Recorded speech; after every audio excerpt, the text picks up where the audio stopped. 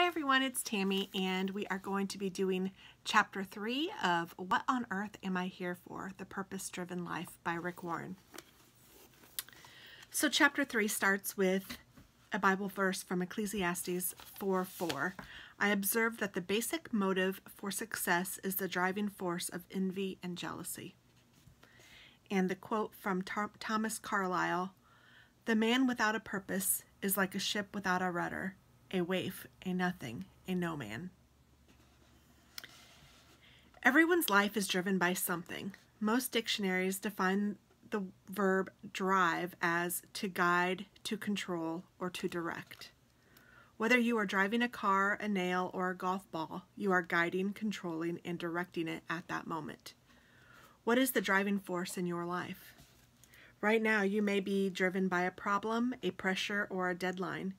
You may be driven by a painful memory, a haunting fear, or an unconscious belief. There are hundreds of circumstances, values, and emotions that can drive your life. Here are five of the most common ones. Many people are driven by guilt. They spend their lives running with, from regrets and hiding their shame. Guilt driven people are manipulated by memories. They allow their past to control their future. They often unconsciously punish themselves by sabotaging their own success.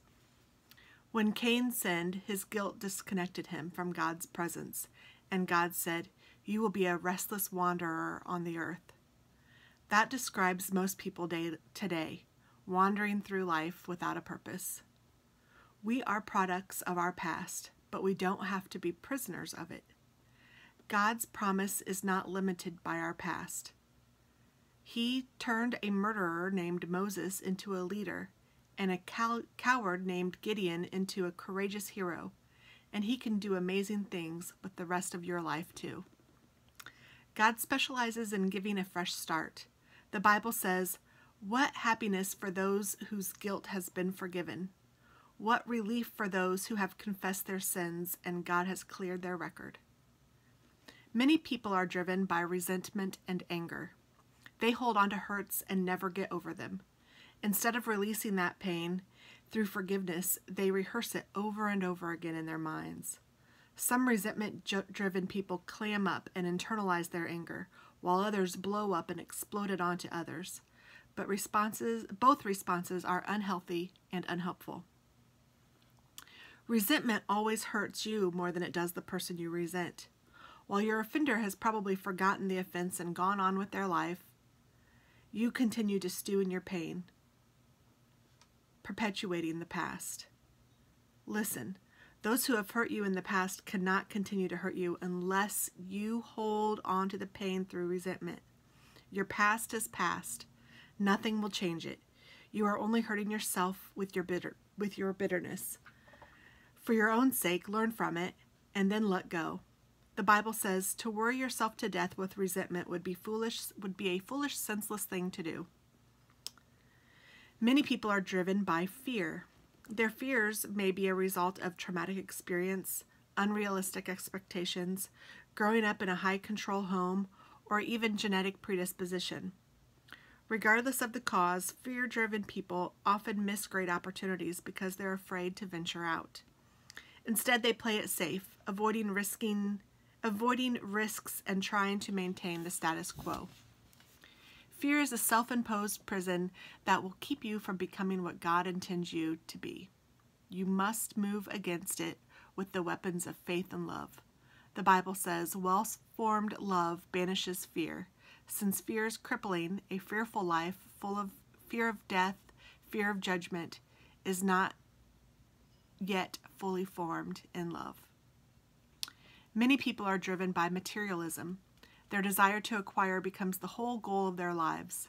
This drive is not always want more based on the misconceptions that having more will make me more happy, more important, and more secure. But all three ideas are untrue. Possessions only provide temporary happiness. Because things do not change, we eventually become bored with them and then want newer, bigger, better versions. It's also a myth that if I get more, I will be more important. Self-worth and net worth are not the same. Your value is not determined by, by your valuables. and God says that the most valuable things in life are not things. The most common myth about money is that having more will make you more secure. It won't. Wealth can be, can be lost instantly through a variety of uncontrollable factors. Real security can only be found in which can never be taken from you your relationship with God. Many people are driven by the need for approval. They allow the expectations of parents or spouses or children or teachers or friends to control their lives. Many adults are still trying to earn the approval of unpleasable parents. Otherwise, others are driven by peer pressure, always worried about what others will think. Unfortunately, those who follow the crowd usually get lost in it. I don't know all of the keys to success, but one key to failure is to try to please everyone. Being controlled by the opinions of others is not a guaranteed way to miss God's purpose. Sorry, let me start that again. Being controlled by the opinions of others is a guaranteed way to miss God's purpose for your life. Jesus says no one can serve two masters. There are other fa- factors that can drive your life, but all lead to the same dead end unused potential, unnecessary stress, and an unfulfilled life. This 40 day journey will show you how to live a purpose driven life, a life guided, controlled, and directed by God's purposes. Nothing matters more than knowing God's purpose for your life, and nothing can compensate for not knowing them, not success, wealth, fame, or pleasure.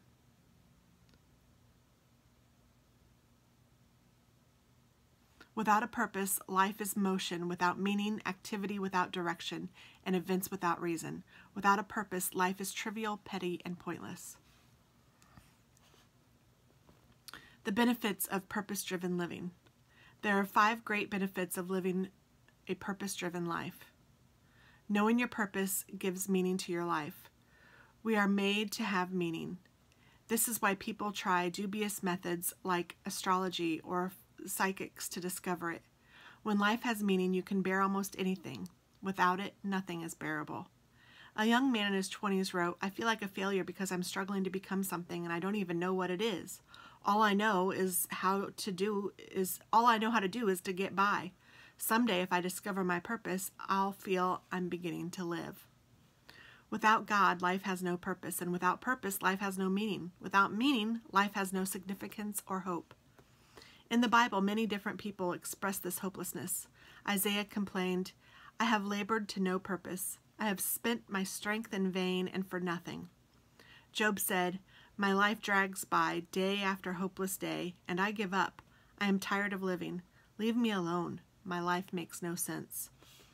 The greatest tragedy is not death, but life without purpose. Hope is an essential part to your life as air and water. You need hope to cope. Dr. Bernie Siegel found he could predict which of his cancer patients would go into remission by asking one question do you want to live to be a hundred? Those with a deep sense of life purpose answered yes, and they were the ones most likely to survive. Hope comes from having purpose. If you have felt hopeless, hold on. Wonderful changes are going to happen to your life as you become to live with purpose. God says, I know what I am planning for you. I have good plans for you, not plans to hurt you. I will give you hope and a good future. You may feel you are facing an impossible situation, but the Bible says God is able to do far more than he would ever dare to ask or even dream, infinitely beyond your highest prayers, desires, thoughts, or hopes. Knowing your purpose simplifies your life. It defines what you do and what you don't do. Your purpose becomes the standard you use to evaluate which activities are essential and which, which aren't. You simply ask, does this activity help me fulfill one of God's purposes for my life? Without a clear purpose, you have no foundation on which to base decisions, allocate your time, and use your resources. You will tend to make choices based on circumstances, pressures, and your mood at that moment. People who don't know their purpose try to do too much, and that causes stress, fatigue, and conflict. It is impossible to do everything people want to do, you have just enough time to do God's will. If you can't get it all done, it means you're trying to do more than God intended for you to do, or possibly that you're watching too much television. Purpose driven living leads to a simpler lifestyle and saner schedule. The Bible says, A pretentious, showy life is an empty life. A plain and simple life is a full life. It also leads to peace of mind. You, Lord, give perfect peace to those who keep their purpose firm and put their trust in you. Knowing your purpose focuses your life.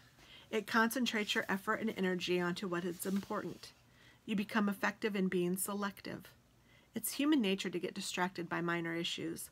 We play trivial pursuit with our lives.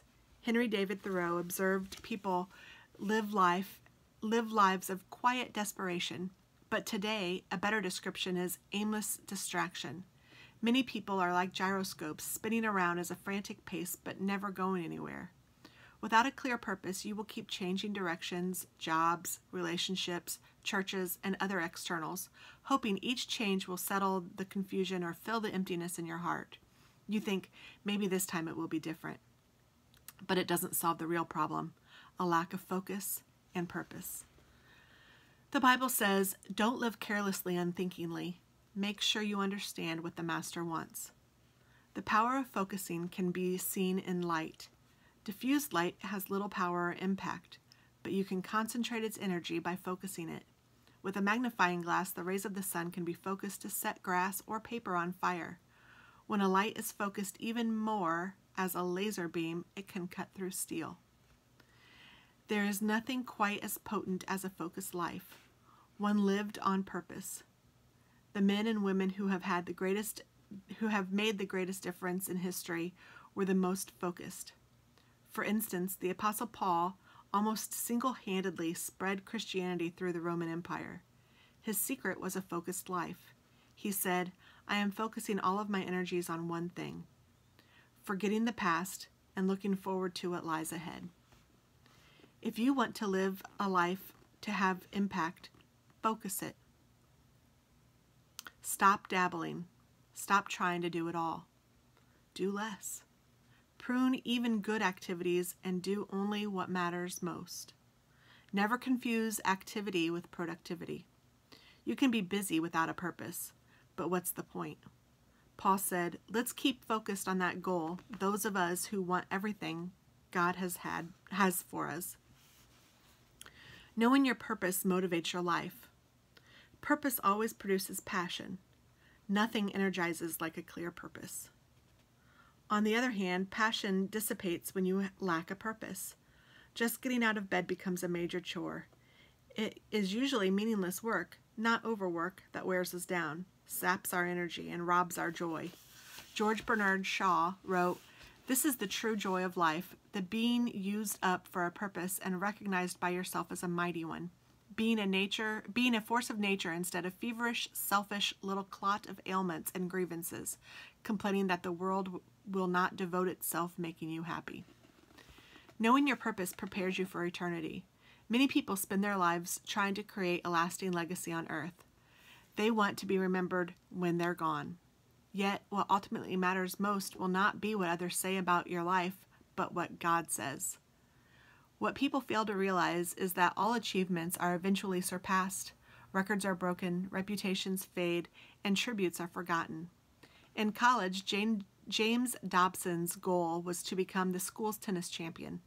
He felt proud when his trophy was prominently placed on the school's trophy cabinet. Years later, someone mailed him that trophy. They had found it in a trash can when the school was remodeled.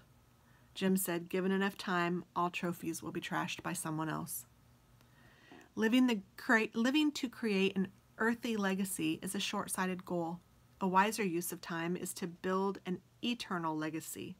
You will put your you weren't put on earth to be remembered. You were put here to prepare for eternity. One day you will stand before God and he will do an audit of your life, a final exam before you enter eternity. The Bible says, Remember, each of us will stand personally before the judgment seat of God. Yes, each of us will have to go give a personal account to God. Fortunately, God wants us to pass this test, so He has given us the questions in advance. From the Bible, we can surmise that God will ask us two crucial questions. First, what did you do with my son, Jesus Christ? God won't ask about your religious background or doctoral views. The only thing that will matter to him is did you accept what Jesus did for you and did you learn to love and trust in him? Jesus said, I am the way and the truth and the life. No one comes to the Father except through me. Second, what did you do with what I gave you? What did you do with your life? All the gifts, talents, opportunities, energy, relationships, and resources God gave you. Did you spend them on yourself? Or did you spend them for the purpose God made for you? Preparing you for these two questions is the goal of this book. The first question will determine where you spend eternity. The second question will determine what you do in eternity. By the end of this book, you will be ready to answer both questions. Day three Thinking about my purpose. Points to ponder. Living on purpose is the path to peace.